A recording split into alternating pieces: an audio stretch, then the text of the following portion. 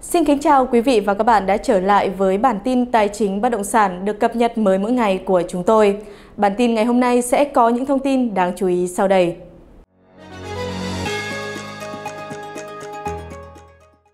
Ngày 4 tháng 5, Tòa án nhân dân thành phố Hồ Chí Minh cho biết đơn vị này đã phân công thẩm phán Bùi Đức Nam, Tòa hình sự Tòa án nhân dân thành phố Hồ Chí Minh thụ lý giải quyết vụ án bà Nguyễn Phương Hằng, tổng giám đốc công ty cổ phần Đại Nam tỉnh Bình Dương và bốn đồng phạm là tiến sĩ luật Đặng Anh Quân, giảng viên trường Đại học Luật thành phố Hồ Chí Minh, Nguyễn Thị Mai Nhi, 40 tuổi, trợ lý của bà Nguyễn Phương Hằng, Lê Thị Thu Hà, 31 tuổi, nhân viên công ty cổ phần Đại Nam, Huỳnh Công Tân, 29 tuổi, trưởng phòng truyền thông công ty cổ phần Đại Nam, cùng tội lợi dụng các quyền tự do dân chủ, xâm phạm lợi ích của nhà nước, quyền, lợi ích hợp pháp của tổ chức cá nhân. Ngày 5 tháng 5 cũng là ngày tạm giam cuối cùng mà bà Nguyễn Phương Hằng phải chấp hành theo quyết định gia hạn tạm giam của Viện Kiểm sát nhân dân thành phố Hồ Chí Minh trước đó.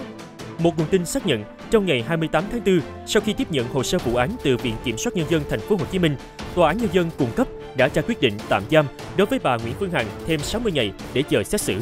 Tính từ thời điểm bị bắt tạm giam vào ngày 24 tháng 3 2022, sau nhiều lần gia hạn, bà Hằng đã bị tạm giam tổng cộng hơn 13 tháng. Theo một luật sư, đoàn luật sư thành phố Hồ Chí Minh, việc gia hạn tạm giam bà Hằng do tòa án nhân dân thành phố Hồ Chí Minh quyết định theo thẩm quyền. Vì luật sư viện dẫn quy định tại điều 278 Bộ luật tố tụng hình sự cho biết, tòa án nhân dân thành phố Hồ Chí Minh sau khi thụ lý vụ án bà Nguyễn Phương Hằng thì thẩm phán được phân công chủ tọa phiên tòa quyết định việc áp dụng, thay đổi, hủy bỏ biện pháp ngăn chặn, biện pháp cưỡng chế, trừ việc áp dụng, thay đổi, hủy bỏ biện pháp tạm giam do chánh án, phó chánh án tòa án quyết định thời hạn tạm giam để chuẩn bị xét xử không được quá thời hạn chuẩn bị xét xử quy định tại khoản 1 điều 277 của Bộ luật tố tụng hình sự. Đối với bị cáo đang bị tạm giam mà đến ngày mở phiên tòa thời hạn tạm giam đã hết, nếu xét thấy cần tiếp tục tạm giam để hoàn thành việc xét xử thì hội đồng xét xử ra lệnh tạm giam cho đến khi kết thúc phiên tòa. Trong trường hợp bà Nguyễn Phương Hằng, vụ án đang sang giai đoạn chuẩn bị xét xử do tòa án nhân dân thành phố Hồ Chí Minh thụ lý giải quyết, có thể là tiếp tục tạm giam. Thời hạn tạm giam giai đoạn hiện nay sẽ tùy vào thời hạn chuẩn bị xét xử, 30 ngày đối với tội phạm ít nghiêm trọng, 2 tháng với tội phạm rất nghiêm trọng, 45 ngày với tội phạm nghiêm trọng, 3 tháng với tội phạm đặc biệt nghiêm trọng. Ngoài ra, chánh án có thể quyết định gia hạn chuẩn bị xét xử. Trường hợp bà Nguyễn Phương Hằng cũng theo luật sư, cáo trạng truy tố bà Hằng phạm tội nghiêm trọng thì thời hạn để chuẩn bị xét xử theo quy định tại điều 277 Bộ luật tố tụng hình sự là 45 ngày. Đây cũng là thời hạn mà tòa án ra lệnh tạm giam bà Hằng nếu có. Ngoài ra, theo điều 277 Bộ luật tố tụng hình sự, chánh án có thể quyết định gia hạn thời hạn chuẩn bị xét xử và theo khoản 3 điều 278 Bộ luật tố tụng hình sự, đối với bị cáo đang bị tạm giam mà đến ngày mở phiên tòa, hội đồng xét xử xét thấy cần tiếp tục tạm giam thì ra lệnh tạm giam.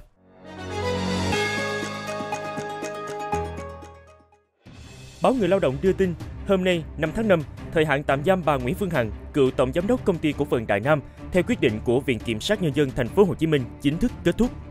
Một nguồn tin xác nhận, trong ngày 28 tháng 4, sau khi tiếp nhận hồ sơ vụ án từ Viện Kiểm sát Nhân dân thành phố Hồ Chí Minh, Tòa án Nhân dân cung cấp đã ra quyết định tạm giam đối với bà Nguyễn Phương Hằng thêm 60 ngày để chờ xét xử. Sau khi tiếp nhận hồ sơ, hôm qua 4 tháng 5, Tòa án Nhân dân thành phố Hồ Chí Minh đã phân công thẩm phán Bùi Đức Nam thuộc tòa hình sự thụ lý giải quyết vụ án. Trước đó, Công an thành phố Hồ Chí Minh đã chuyển toàn bộ kết luận và hồ sơ vụ án sang Viện Kiểm sát Nhân dân cung cấp, đề nghị truy tố bà Nguyễn Phương Hằng và bốn đồng phạm về cùng tội lợi dụng các quyền tự do dân chủ, xâm phạm lợi ích của nhà nước, quyền, lợi ích hợp pháp của tổ chức cá nhân theo điều 331 Bộ luật hình sự. Ngày 24 tháng 3 2022, cơ quan điều tra Công an thành phố Hồ Chí Minh khởi tố vụ án, khởi tố bị can và bắt tạm giam bà Nguyễn Phương Hằng. Theo kết luận điều tra, bị can Nguyễn Phương Hằng thông qua các tài khoản mạng xã hội YouTube và TikTok tổ chức nhiều buổi phát sóng trực tiếp livestream qua mạng internet để xâm phạm bí mật đời tư, ảnh hưởng uy tín, danh dự của ông Nguyễn Võ Hoài Linh, nghệ sĩ Hoài Linh, bà Nguyễn Thị Mỹ Oanh, ca sĩ Phi Oanh, bà Đặng Thị Hằng Ni, nhà báo Hằng Ni, ông Nguyễn Đức Hiển, phó tổng biên tập báo pháp luật Thành phố Hồ Chí Minh, bà Trần Thị Thủy Tiên, ca sĩ Thủy Tiên, cùng chồng Lê Công Vinh, ông Huỳnh Minh Hưng, ca sĩ Đàm Vĩnh Hưng, bà Đinh Thị Lan. Bị can Nguyễn Phương Hằng đã lợi dụng sức ảnh hưởng của bản thân, sử dụng chức năng của mạng xã hội trên internet, tổ chức nhiều buổi phát trực tiếp nội dung thông tin không kiểm chứng liên quan đến đời tư của người khác, trong đó sử dụng những ngôn từ mang tính chất nhục mạ, xúc phạm danh dự, nhân phẩm. Quá trình điều tra, bị can Nguyễn Phương Hằng khai nhận các thông tin đã phát ngôn về các cá nhân trên là do đọc trên mạng internet, báo chí và nằm mơ, chưa được kiểm chứng và không có căn cứ. Đối với các cá nhân sử dụng kênh YouTube để chia sẻ thông tin liên quan đến Nguyễn Phương Hằng nhằm mục đích câu like, tăng thu nhập, cơ quan điều tra công an thành phố Hồ Chí Minh và các đơn vị chức năng liên quan đang xác minh làm rõ để xử lý. Công an thành phố Hồ Chí Minh xác định ba bị can Nguyễn Thị Mai Nhi, Lê Thị Thu Hà, Huỳnh Công Tân đã thực hiện các nhiệm vụ đăng tin trên mạng xã hội Facebook về tiêu đề, thời điểm, đường dẫn đến kênh YouTube, TikTok sẽ phát livestream, in các nội dung mà bị can Nguyễn Phương Hằng sẽ phát ngôn đưa cho bị can Nguyễn Phương Hằng trước các buổi livestream, chuẩn bị sử dụng các phương tiện thiết bị điện tử để phục vụ livestream và phát livestream trên các tài khoản mạng xã hội của bị can Hằng.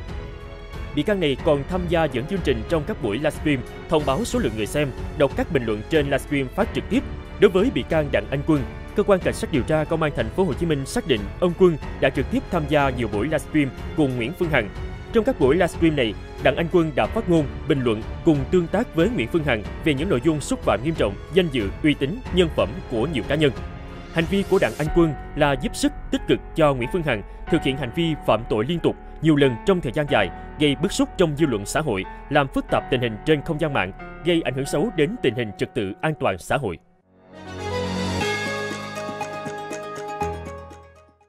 Sau khi ông Trần Quý Thanh bị bắt tạm giam để điều tra về tội lạm dụng tín nhiệm chiếm đoạt tài sản, được nhiều cư dân mạng đã tinh ý chiêm nghiệm lại những lời nói của nữ đại gia Bình Dương Nguyễn Phương Hằng trước đó hoàn toàn đúng. Tối ngày 10 tháng 4, mạng xã hội như dậy sóng khi thông tin ông Trần Quý Thanh, chủ tịch tập đoàn Tân Hiệp Phát cùng hai cô con gái Trần Uyên Phương và Trần Ngọc Bích bị bắt tạm giam vì tội lợi dụng tín nhiệm chiếm đoạt tài sản được cơ quan cảnh sát điều tra. Sau khi chủ tịch tập đoàn Tân Hiệp Phát bị bắt tạm giam, cộng đồng mạng lại trầm rộ chia sẻ lại hàng loạt các clip ngắn mà trước đó bà Nguyễn Phương Hằng từng ám chỉ trong những lần livestream trước đó. Bởi trước khi bị bắt và khởi tố về tội lợi dụng các quyền tự do dân chủ, xâm phạm lợi ích của nhà nước, quyền, lợi ích hợp pháp của tổ chức cá nhân theo điều 331 Bộ luật hình sự, bà Nguyễn Phương Hằng từng khiến giới giải trí cũng như nhiều doanh nhân cộng đồng mạng trao đảo vì liên tục chửi bới, cũng như tố cáo một số nghệ sĩ ăn chặn tiền từ thiện, làm ăn có dấu hiệu vi phạm pháp luật của một số ông lớn trong lĩnh vực kinh doanh. Sau chuỗi lại những gương mặt mà bà Phương Hằng lần lượt nhắc tên trong các buổi livestream, dù đó là cách gián tiếp hay trực tiếp,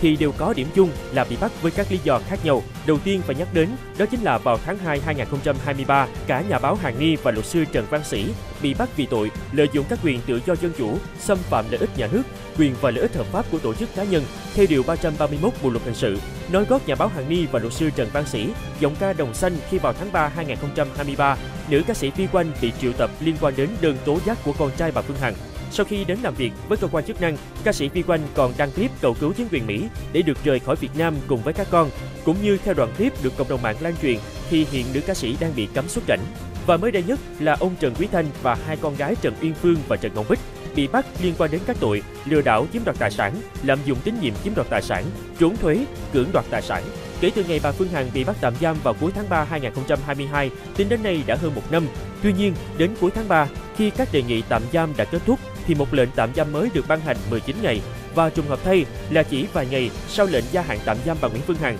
thì ông Nguyễn Quý Thanh, chủ tịch tập đoàn Tân Hiệp Phát cùng hai con gái cũng bị tạm giam để điều tra. Nhìn lại, những gì đã diễn ra chỉ trong vài tháng qua, có thể thấy rất nhiều sự trùng hợp ngẫu nhiên xảy ra. Cũng chính vì sự trùng hợp ngẫu nhiên này, rất nhiều cư dân mạng cũng đã đặt ra câu hỏi rằng tại sao bà Hằng lại bị tạm giam lâu như vậy? Tại sao những cá nhân được bà nhắc tên đều lần lượt vào khám Liệu sau này sẽ còn cá nhân nào nữa không? Hay vụ án bao giờ sẽ khép lại? Liệu khi bị tạm giam có những bằng chứng gì về các nhân vật khác được bà Phương Hằng gửi đến cơ quan điều tra hay không? Với những diễn biến đang ngày một đưa ra ánh sáng, nhưng tương lai sau đó sẽ ra sao vẫn chưa thể biết trước điều gì. Nhưng một điều mà mọi người thấy rõ nhất ở thời điểm hiện tại là những gì mà bà Phương Hằng nói trong livestream trước đó đều có những giá trị nhất định. Thậm chí trước đây, khi bà Nguyễn Phương Hằng bị bắt tạm giam, rất nhiều người đã bày tỏ thái độ cười cợt và hả hê rằng khi bà ấy bị bắt thì những gì họ làm sẽ được tẩy trắng và vô tội.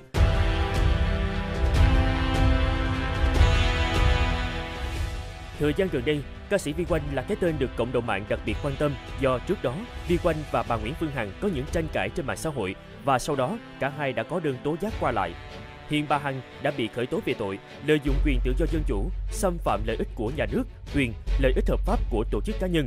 Ca sĩ Vi Quanh gần đây cũng bị triệu tập theo đơn tố cáo của con trai bà Phương Hằng. Theo đó, hôm 28 tháng 3, hình ảnh ca sĩ Vi Quanh cùng luật sư đến trụ sở công an để làm việc theo giấy triệu tập lan truyền trên mạng xã hội. Tuy nhiên, phía luật sư bảo vệ quyền lợi của ca sĩ khẳng định đây là thông tin không đúng sự thật. Từ tối ngày 15 tháng 4, cư dân mạng không tìm được những tài khoản mạng xã hội, bao gồm cả Facebook cá nhân và fanpage của ca sĩ Vi Quanh. Sau đó, nhiều phóng viên các báo đã gọi điện thoại cho nữ ca sĩ này nhưng cũng không liên lạc được. Theo thông tin, Vi Quanh truy cập lần cuối trên ứng dụng Zalo ngày 7 tháng 4. Bài đăng cuối cùng trên Facebook vào ngày 22 tháng 3, và video cuối cùng đăng trên TikTok ngày 19 tháng 3. Trong thời gian đó, cộng đồng mạng lan truyền đoạn clip Vi Quanh cùng ba con lên mạng cầu cứu, chia sẻ tình trạng hiện tại của cô là không thể xuất cảnh khỏi Việt Nam. Được biết, ca sĩ Vi Quanh tên thật là Nguyễn Thị Mỹ Oanh, 39 tuổi, ngụ thành phố Thủ Đức, thành phố Hồ Chí Minh. Cô được khán giả biết đến qua những ca khúc Đồng xanh, Em rất nhớ anh, cho em một con đường, Để cho em khóc. Bên cạnh vai trò là ca sĩ, Vi Quanh còn lớn sân sang diễn viên, góp mặt trong các dự án phim truyền hình. Vi Quanh từng tự nhận số mình thị phi. Nữ ca sĩ cho biết trước đây cô chỉ luôn muốn sống nhẹ nhàng, tránh xa những điều tiếng. Vậy nhưng, trong một số sự việc, cô vô tình trở nên ồn ào trong mắt số đông. Hiếm khi chia sẻ về cuộc sống riêng tư, nhưng tài sản của nữ ca sĩ Vi Quanh khiến dân tình choáng váng vì không phải dạng vừa. Vợ chồng ca sĩ 8X sở hữu căn biệt thự ở trung tâm thành phố Hải Phòng có diện tích khủng 3.000 m2 và được thiết kế theo tông màu trắng vàng chủ đạo. Đây cũng là nơi sum họp của gia đình vào mỗi dịp đặc biệt hay lễ Tết. Không chỉ rộng rãi, biệt thự đắt đỏ này còn được trang bị nội thất hiện đại và vô cùng sang trọng, được bài trí hiện đại tiện nghi. Bên trong căn biệt thự rộng 3.000 m2 của vợ chồng ca sĩ Vi Quanh còn có cả hồ bơi. Được biết, căn nhà ở Hải Phòng có tổng cộng hơn 10 phòng ngủ và các phòng chức năng khác như phòng gym, giải trí. Dù nữ ca sĩ sinh năm 1985 chưa từng tiết lộ giá trị của căn biệt thự này, nhưng nhiều người cho rằng giá trị của nó không hề nhỏ. Vi Quanh cho biết ông xã là người của gia đình nên mong muốn xây dựng một căn nhà rộng rãi để các thành viên gặp gỡ và tụ họp. Nữ ca sĩ 8X từng lên tiếng chia sẻ, ngôi nhà này chúng tôi xây dựng trước nhà ở Sài Gòn. Chồng tôi là người sống thiên về gia đình nên muốn xây căn nhà thật rộng, giống nhà tổ để thỉnh thoảng đại gia đình cùng xung họp vào các dịp đặc biệt. Vợ chồng tôi luôn yêu thích không khí đông vui mỗi khi người thân cùng tề tựu. Ông xã tôi là anh cả nên càng có trách nhiệm với gia đình. Không chỉ có căn biệt thự hơn 3.000 m2 ở Hải Phòng, dòng ca Đồng Xanh còn sở hữu căn nhà rộng 1.400 m2 ở vị trí đắc địa ngay tại quận 2 vào năm 2019, nữ ca sĩ từng đăng tải đoạn clip dài gần 5 phút khoe cận những góc trong căn nhà này trên kênh YouTube chính thức của mình. Căn biệt thự 4 tầng của Vi Quanh có khu vui chơi cho trẻ, 3 phòng ngủ, nội thất tiện nghi và tràn ngập cây xanh. Nữ ca sĩ 8X từng cho biết đây cũng là ngôi nhà hai vợ chồng lựa chọn ở nhiều nhất vì mang những kỷ niệm đặc biệt. Dòng ca đồng xanh chia sẻ, Vi Quanh và ông xã ở ngôi nhà này cũng khá lâu rồi. Ngay từ ngày đính hôn thì hai vợ chồng đã về đây. Đây là nơi gắn kết rất nhiều kỷ niệm quan trọng của cuộc đời mình như lập gia đình, sinh con cái. Cả hai vợ chồng anh ai cũng thích gần gũi thiên nhiên, thoáng mát, thiết kế tối giản dựa trên gam màu sáng. Được biết, ngoài căn hộ này, Vi Quanh cũng đang sở hữu một số biệt thự khác ở trong và ngoài nước. Vi Quanh được biết đến là đại gia ngầm của showbiz khi sở hữu biệt thự khủng, xế hợp đắt tiền, Tháng 9 2018, nữ ca sĩ 8X từng chia sẻ về việc bán căn nhà tại mặt tiền, tòa lạc ở quận nhất có giá trị lên đến 40 tỷ. Thông tin vừa rồi cũng đã khép lại bản tin ngày hôm nay của chúng tôi. Để không bỏ lỡ những thông tin mới nhất về tài chính bất động sản, quý khán giả đừng quên nhấn nút đăng ký kênh và nhấn vào biểu tượng chuông. Chúng tôi rất mong nhận được sự ủng hộ và đồng hành của quý vị. Xin chào và hẹn gặp lại trong những chương trình lần sau.